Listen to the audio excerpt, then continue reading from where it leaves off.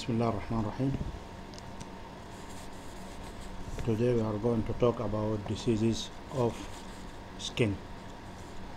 And in diseases of the skin, we are going to tackle this issue or dermatopathology in a series of four lectures.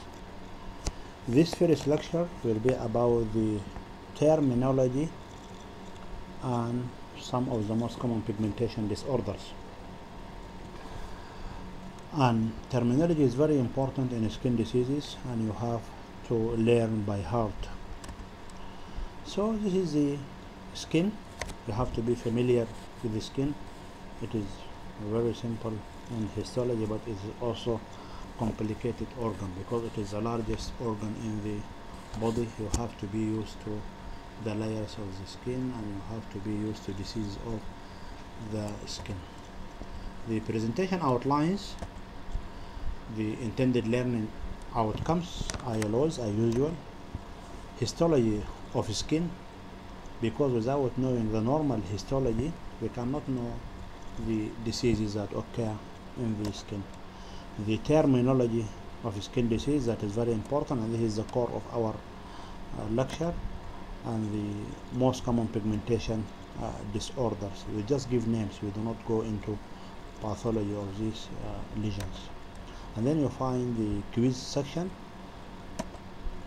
and the references or the further learning resources that you can go to in order to increase your knowledge. The intended learning outcomes by the end of this lecture, the learner should be able to describe the normal skin histology. So this is one of the most important learning outcomes to describe the normal skin histology. And number two, to define the common terms used to describe the macroscopic skin lesions. And number three, to define the common terms used to describe the microscopic features of skin lesions. So number two is about macroscopic, that is to say the naked eye appearance of skin lesions and this is number three the microscopic features of skin lesions and to define and describe some of the most common pigmentation disorders. This is the normal histology of the skin. The skin is generally composed of uh, epidermis as you can see here. And then you have the dermis layer and then the subcutis or the hypo dermis. We usually refer to skin as dermis and epidermis and dermis. You have to be used to structures. So in the epidermis you are going to see layers and then the you can see the in the dermis the structures that, that are there and you have to be used to these structures the hair shaft the opening of the sweat duct and the dermal papillae and then you have to know the arrector pili muscle, the sebaceous glands, and the sweat, crying sweat glands. And then you see the hair follicle. You have to be used to all these structures, and then you have to be used to the dermal nerve fibers that are scattered in the skin, and the Pacinian corpuscle uh, for the receptors for pain. The skin histology is composed of uh, superficial layer stratum corneum and then you have the stratum lucidum and then you have the stratum granulosum and then you have the stratum spinosum this is the stratum spinosum and then you have the stratum basale if you go from below and then you come the, the dermis and then uh, so if you want to go from downwards upward you have the dermis you have the base stratum basale stratum spinosum stratum granulosum stratum lucidum and the stratum corneum so the skin is composed of epidermis and dermis. The epidermis there are four major layers. These are the from downwards upwards the basal layer or known as stratum basale the squamous cell layer stratum spinosum as you can see in the picture pictures are very important in the histology. And then you have the granular layer or stratum granulosum here. Is stratum granulosum and then you have the horny layer composed of stratum lucidum and stratum corneum particularly in the thick skin you find this layer. This is another picture of the same skin you have to be used to if you go from upwards downwards you find the stratum uh, corneum here and then you can see the uh, striatum lucidum stratum granulosum stratum spinosum taking the most part or many layers of the squamous cells and then you find the stratum basale these are the basal layers that are responsible for producing these upper upper the dermis is simple and is composed of papillary dermis and reticular dermis. So if we can see this is the reticular dermis and this is what we call the papillary dermis that part that intervenes with the with the epidermis. We call it the papillary dermis. And the lower down is the reticular dermis and there you can revise the Uh, layers of the epidermis striatum corneum striatum lucidum striatum gran you have to be used to granulosum spinosum and the striatum basale and then you find the dermal epidermal junction. There are skin appendages that include hair follicles as you have seen in previous picture. Then the sebaceous glands and the sweat glands all these are we call them skin appendages and, sometimes you find diseases of skin that is related to skin appendages. These are the layers of the skin and you can see the sebaceous and the and the uh, sweat glands and you can see these structures the cells in the skin they include keratinocytes and these are the squamous cells they compose the majority of skin of uh, skin cells the keratinocytes. In addition there are melanocytes. There are not too many but they give the melanin pigment that gives us our characteristic color. And then we have the basal cells as we have seen. And there are Langerhans cells of the macrophage monocyte series. They are responsible for the immune system and then you find the Merkel cells that have many functions some of them are for uh, pleasure or sensory cells. And then you have the glandular epithelial cells. As you have seen sebaceous and sweat gland uh, cells. And then we have the lymphocytes and other blood derived cells that come from the circulation in addition to connective uh, tissue cells adipocytes fibrocytes nerves and endothelial cells why do we mention the cells in the skin? Because any of these cells can give rise to tumor whether benign or malignant. Therefore we have to put in mind that what are the cells that are there in the skin? By recognizing them you can recognize what tumors can arise. So each of these cells can give rise to uh, tumors of the skin. Therefore you have to be familiar with the cells in the in the skin. Another uh, picture of the, skin striatum corneum particularly in uh, thick parts of the skin. These are dead cells filled with keratin. And then you have the striatum uh, lucidum layer. And then you have the striatum granulosum.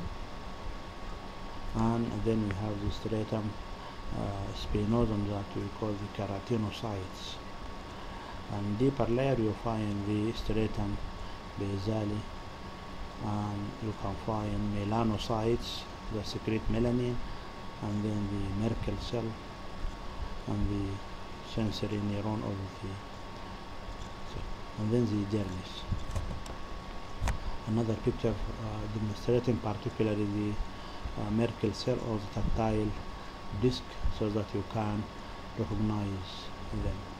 These are the hair shafts this is the epidermis and this is the the dermis. Another uh, photomicrograph of the normal skin you have to be used to. You have to know it by heart. And as we mentioned there are appendages the hair follicles.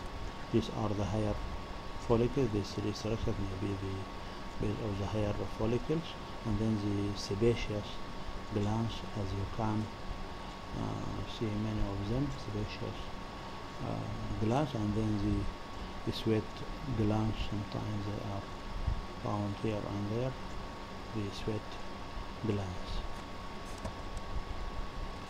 And now we come to a basic question. In your opinion and for you as a doctor which of the following is the most important means for diagnosing skin diseases?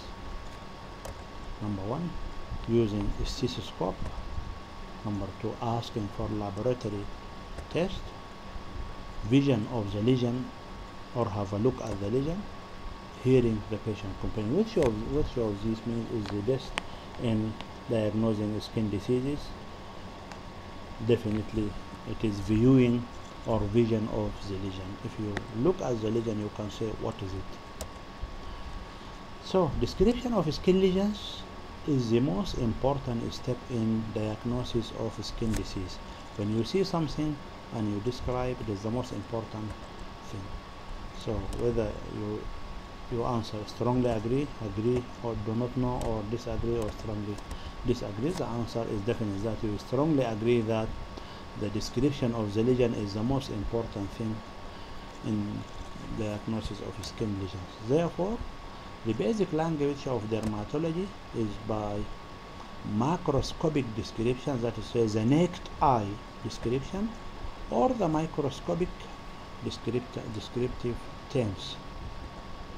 You have to be familiar with the essential terms describing skin lesions there is no other way. You have to be familiar with these terms what do they mean? And you have to know what are these terms the macroscopic or clinical terms that are used to describe uh, diseases or lesions of the skin are the following. They are not diagnoses. These are just clinical descriptive terms. Macroscopic naked eye the macule you have to know what is a macule patch you have to be familiar with. Patch what is patch?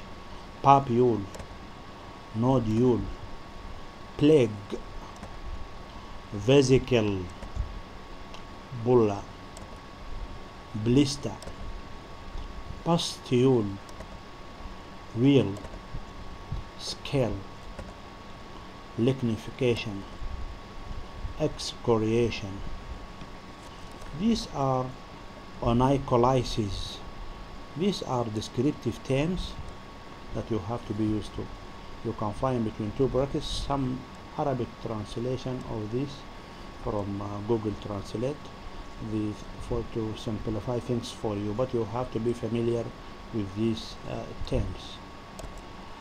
A macule is a circumscribed lesion of less than 5 millimeter in diameter characterized by flatness and usually discolored.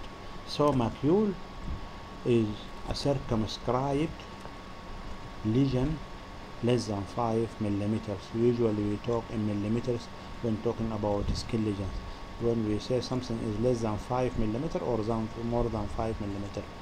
So Uh, a macule is a circumscribed lesion of less than 5 millimeter in diameter characterized by flatness. It is not raised. It is flat part of the skin. It cannot be touched. It can be seen by the eye and not by the touch. Unusually discolored the larger one is a patch. So the patch is a circumscribed lesion of greater than 5 millimeter in diameter characterized by flatness and usually discolored. It is a larger than the than the macule. A macule is smaller less than 5 millimeter. A patch is a larger flat discolored lesion. So the same comes you can see the patch. The third term here is a papule. As you can see a papule is an elevated dome shaped or flat topped lesion less than 5 millimeter across so a papule is palpable but it is small so it is elevated dome shaped or flat topped lesion less than 5 millimeter in diameter. So you can see a plaque is uh, multiple papules together. Nodule is an elevated lesion with a spherical contour greater than 5 millimeter across. So a nodule is more than 5 millimeter. A papule is less than 5 millimeters. When it is larger, we call it nodule. The nodule can be exophytic nodule or can be endophytic nodule. Exophytic nodule are palpable and large. A plaque is an elevated flat top lesion, usually greater than 5 millimeter across. It may be caused by coalescent papules, as we have seen or said earlier. Many uh, papules can form a plaque. This, this is the uh, plaque. It is the combination of many uh, uniting together papules that form a plaque. A blister is a common term used for vesicle or bulla. So, what is a vesicle? A vesicle is a fluid-filled raised lesion less than 5 millimeter across, whereas a bulla is a fluid-filled raised lesion greater than 5 millimeter across. So, you can see here two vesicles, fluid filled, they are filled with fluid. And if they are small, we call them vesicle. When they are large, we call them bulla. The plural is bullae. These are vesicles, less than 5 millimeter uh, fluid filled lesions, skin vesicles in the abdomen. You are going to know what diseases cause vesicles. A pustule, pustule, as the name indicates, pustule. So this, this is a discrete pus-filled raised lesion. Any pus-filled raised lesion, we call it pustule. If fluid-filled, we call it vesicle or bulla, based on the size. But when it is full of pus, we call it pustule. How pustules develop, particularly an example for the common disease acne, you find this is a normal follicle. Hair follicle you find the sebaceous glands. And when there is blockage of the pores through which the sebaceous material goes out there will be growth of bacteria certain types of bacteria corynebacterium acnes and then the wall ruptures to form the pustule that you have seen earlier pus a wheal is an itchy transient elevated lesion with variable blanching and erythema formed as a result of dermal edema. So this is the wheal. Wheal is an itchy transient. It is not permanent. It comes and goes. Maybe per may persist for hours or a few days. So it is a wheal. Itchy transient elevated lesion with variable blanching and erythema. Erythema means redness it becomes red formed as a result of dermal edema. Scale. A scale is a dry, horny, plate-like excrescence, usually the result of imperfect cornification, that is to say keratinization. So this is a scale. It looks like a fish scale or something like this. Dry, horny, plate-like. It is just like a plate or something put in and usually is a result of keratinization. Lichenification is thickened and rough skin. So in lichenification it is thickened and rough skin characterized by prominent skin markings, usually the result of repeated rubbing or due to itching in susceptible uh, persons. So this is we call it lichenification. Excoriation is traumatic lesion characterized by breakage of the epidermis causing raw linear area that is to say deep scratch. Deep scratch. This is another excoriation there is loss of the epidermis or a lesion or breakage in the epidermis. So you can see other terms like fissure when there is a cut or erosion when there is superficial loss of the epidermis or it can become an ulcer that goes deeper into the involving even the dermis going from the epidermis and then reaching the, the dermis. Another term onycholysis. Onycholysis we mean separation of the nail plate from the nail bed. As you can see in this picture when there is separation separation of the nail plate from the nail bed we call it onycholysis whenever you find the word the word onycho it means nail. So onycholysis is the separation of the nail plate from the nail bed. After finishing the macroscopic terms now we come to the microscopic or the histologic terms. And these terms are also very important and you have to read many times so that you can recognize them. And the same as we mentioned in the macroscopic terms the microscopic terms are not diagnoses. They are just descriptive terms. So we have the microscopic terms hyperkeratosis parakeratosis hypergranulosis acanthosis papillomatosis acantholysis spongiosis hydropic swelling or ballooning exocytosis erosion ulceration vacuolization and lentiginous.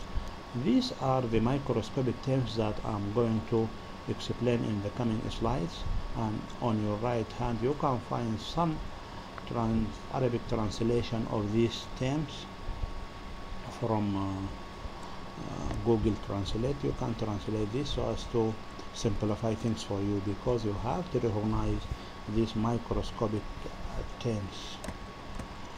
The hyperkeratosis is thickening of the stratum corneum often associated with qualitative abnormality of the keratin. So you can see hyperkeratosis abundant keratin in the stratum corneum you can see oh this is keratin. This is hyperkeratosis. It is not a difficult term. And then we have the parakeratosis. By parakeratosis we mean the presence of nucleated cells in the upper layers of the skin. So parakeratosis, modes of keratinization characterized by the retention of the nuclei in the stratum corneum. On mucous membranes, parakeratosis is normal, but we have the, this skin where there is keratin. These cells should not be nucleated, but here we find these nuclei in the in the stratum corneum. This is we call parakeratosis. We are going to recognize which diseases are associated with this microscopic feature. Hypergranulosis means hyperplasia of the stratum granulosum, often due to intense rubbing, due to itching and rubbing, you find this hypergranulosis. This is a picture to demonstrate hypergranulosis. It is a normal skin. You can see the granular layer uh, not uh, too not too much thick when there is granular cell hyperplasia hyper pleasure and thickness. You find hypergranulosis hyperplasia of the uh, stratum granulosum. You see many layers many layers here the acanthosis means diffuse epidermal hyperplasia. You can see how many layers are there in this epidermis. We call it acanthosis. Diffuse epidermal hyperplasia. All layers are uh, hyperplastic. You can see these areas of hyperplasia under the microscope. Acanthosis we have the term papillomatosis it means surface elevation caused by hyperplasia, hyperplasia and enlargement of the contiguous dermal papillae. These are papillomatosis. Papillomatosis. You see the dermal papillae going inside the epidermal layer. This is papillomatosis. Dyskeratosis is another term in which abnormal keratinization occurring prematurely within the individual cells or groups of cells below the stratum granulosum. Find keratin layers in the deeper layers. This is dyskeratosis. Generally the same as dysplasia. Dyskeratosis, you find keratin beneath the uh, stratum granulosum. It should be above the stratum granulosum, the keratin layer. But when it comes below the stratum granulosum, we call it dyskeratosis. We have another term, acantholysis. Acantholysis means loss of intercellular connections resulting in loss of cohesion between keratinocytes. They are separated. So there is acantholysis loss of intercellular between the cells connections resulting in loss of cohesion between keratinocytes. Spongiosis is intercellular edema of the epidermis. When there is edema between the cells, we call it spongiosis. It looks like sponge. This is a spongiosis. We have hydropic swelling or ballooning and here we find intracellular edema within the cells. Within the cells you find edema. Intracellular edema of keratinocytes we call it hydropic swelling or ballooning. Exocytosis we mean infiltration of the epidermis by inflammatory or circulating blood cells whenever you find a lot of circulating cells invading the epidermis we call it exocytosis. And we, we have the term erosion you used to it. You have seen it macroscopically. It means discontinuity of the skin exhibiting incomplete loss of the epidermis. This is we have seen previously fissure ulcer and erosion and this is erosion of the skin ulceration is another term that can be seen macroscopically or microscopically. And it means discontinuity of the skin exhibiting complete loss of the epidermis and often portions of the dermis and even subcutaneous fat.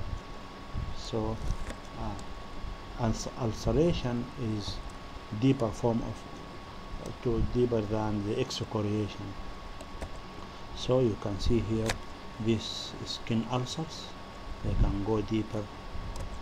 And this is in the histology. You see there is discontinuity or loss of the epidermis. You just see the dermis under the microscope. This is call ulceration. Vacuolization means formation of vacuoles within or adjacent to cells. Vacuolization. You see the cell? Uh, appears as vacuoles often refers to basal cell basement membrane zone area of vacuolization it is similar to hydropic uh, or uh, ballooning. The lentiginous um, means referring to a linear pattern of melanocyte proliferation within the epidermal basal cell layer so you can see this is lentiginous lentiginous in microscope you see there is deposition of melanocytes or proliferation of melanocytes and this is usually within the epidermal basal cell basal cell layer. Lentiginous melanocytic hyperplasia can occur as a reactive change or as part of a neoplasm of melanocytes as you are going to know in the coming lectures. Now we have some pigmentation disorders that you can mm, see and you can describe but we are not going into details of these disorders. We have the term vitiligo, freckle of Ephelis, melasma, lentigo, nevus, and dysplastic nevus. Malignant melanoma. All these are pigmentation disorders that we are going to see. And we can talk about the nevi, nevus, and the melanoma in a coming lecture, but the other terms are just for description that you know. We have the vitiligo that we all know, hypopigmentation of the skin vitiligo, which is associated with certain disease or can be idiopathic vitiligo. This is another picture for vitiligo. You have to be used to. These are the freckles, discoloration, freckles of the skin, producing certain areas with darker, with darker lesions. You can see freckles or ephelis. And then we have the melasma. This is broader pigmentations also called mask of pregnancy. You can see many hyperpigmented areas, we call it melasma. Is another term for melasma. And then we have the lentigo, which are uh, the plural is lentigines, is generally considered brown pigmented spot on the skin. It is harmless, benign hyperplasia of the melanocytes which is linear in its spread we have seen it earlier so these are the brown pigmentation lentigo lentigo this is picture of lentigo you you can see the melanocytes that produce melanin. With melanin pigment in the linear part. So producing that brownish discoloration. These are lentiginous proliferation of melanocytes producing this color. And that is it for the terminology. You can see that there are many new words and new terms that you need to revise and you go through once twice and again once and again and again. You need to go through it through the terms can, now we come to the quiz, sec to the quiz section. Can you identify 10 of the structures in the next slide? I would like you to mention some of these structures to give them names to know what are these and what do you mean by this and what are these structures. You try to name these uh, structures what are they? Some of them are very simple and some of them you need to go and read or just move the picture from the PowerPoint and then you can have a look at the or you can revise the normal histology quiz number two what are these skin lesions? What do you call these small skin lesions that are filled with something like pus or something? What do you call them quiz number three identify two abnormal findings in this skin microphotograph. Can you tell me what are these? What do you see in this skin? What do you see? Do you see bright areas between the layers what do you call them? Quiz number four what is the name of this nail disorder? What do you call it? You have to know how to call it okay? After reading the lecture once again you can answer this question. How would you name these two skin lesions? How do you call them? Number one and number two. Quiz number six. Use a pencil and a paper. Please provide a pencil and a paper. I'm going to give you something to draw the terms in the next slide. Because there are too many please provide pencil and paper and then open the next slide okay? I would like you to draw all these legends how to draw a macule and how to draw a patch and then a papule, a nodule, plaque, vesicle, bulla and please, please try to do all these drawings. You are going to understand this. These are the references and thank you very much